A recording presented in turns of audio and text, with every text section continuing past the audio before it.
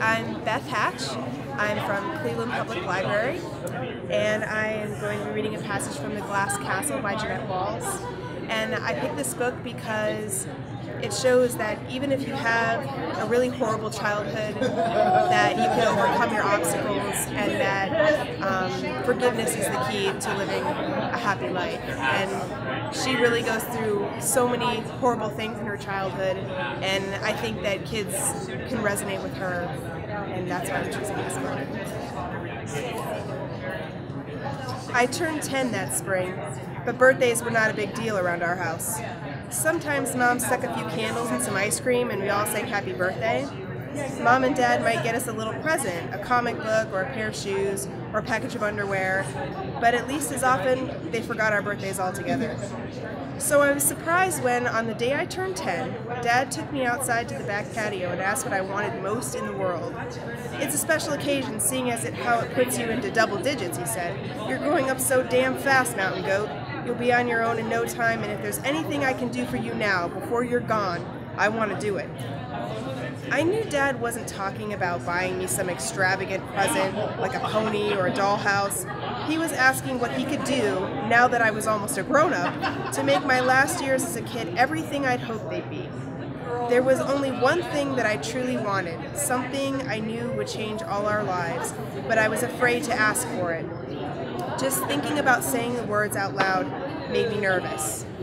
Dad saw my hesitation. He knelt so that I, he was looking at me. What is it? Ask away. It's big. Just ask, baby.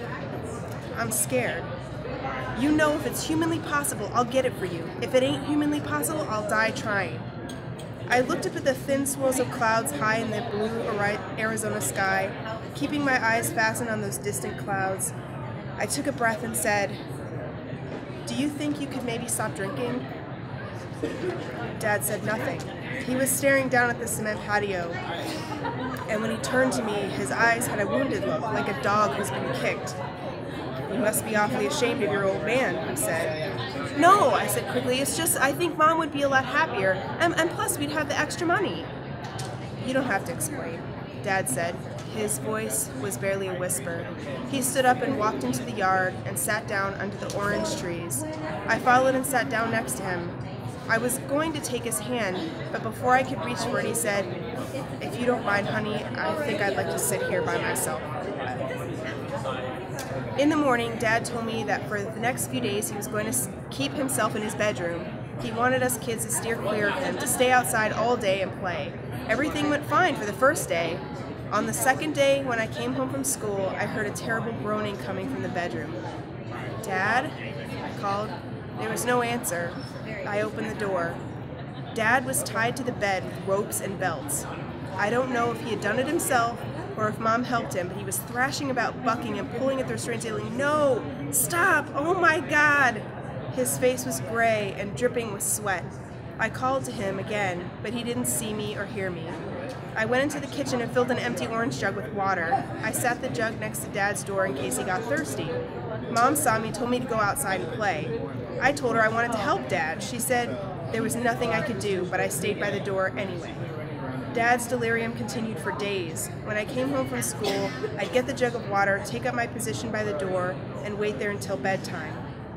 Brian and Maureen played outside, and Lori kept to the far side of the house. Mom painted in her studio, and no one talked about what was going on. One night, when we were eating dinner, Dad let out a particularly hideous cry. I looked at Mom, who was stirring her soup as if it were an ordinary evening, and that was when I lost it. Do something, I yelled at her. You've got to do something to help Dad. Your father's the only one who can help himself, Mom said. Only he knows how to fight his demons.